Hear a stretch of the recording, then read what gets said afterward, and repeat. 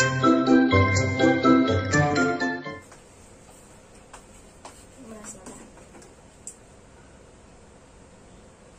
4.30 na ba? Kailangan pa na magluto ng soup ngayon. Sandali nga.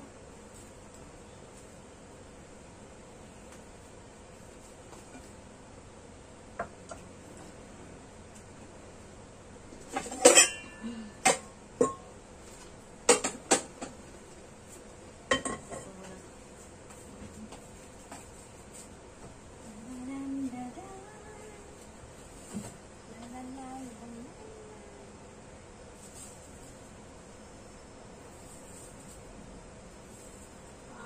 tayo makapagluto ng soup nito? Wala, hindi naman kompleto yung ingredient. Wala namang kamatis at saka carrots. Ay, talaga to. Yung oras na, hindi pa rin na. Hindi naman pala kompleto yung ingredient. Jai?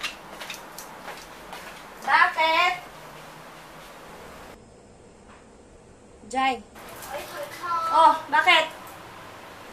akala ko ba na malingki ka kahapon?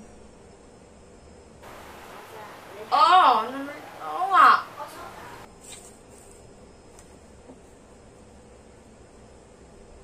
Eh, wala, ba't walang carrots at saka kamatis? Paano ako magluluto ng soup ngayon? Ha? Nakalimutan ko na wala kasi yung listahan.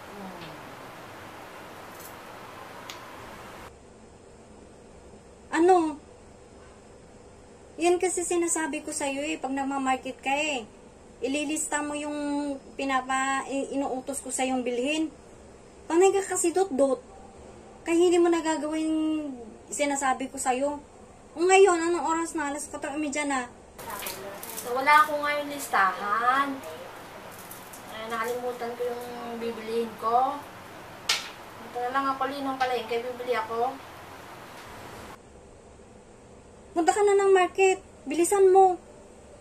Ako na nang mapagalitan nito ni ma'am. Tagal Sige na, pupunta na ako sa market. Bili muna ako. Sige na, sige na. Hindi ka, ilang buwan ka na dito, hindi mo pa rin alam gagawin mo. Sinabi ko na sa'yo, bili mong ganito, bili mong ganito. Ang carrots sa- at saka kamatis, sakalimutan mo pang bilhin. Eh, paano makumpleto yung soup ko? Talaga, talaga. Punta ka na ng market, bilisan mo na. Sagot-sagot ka pa dyan, eh. Ay, Yes! Dali akong market. Yes, yes. Makapag-ukay-ukay. Yes. Yes!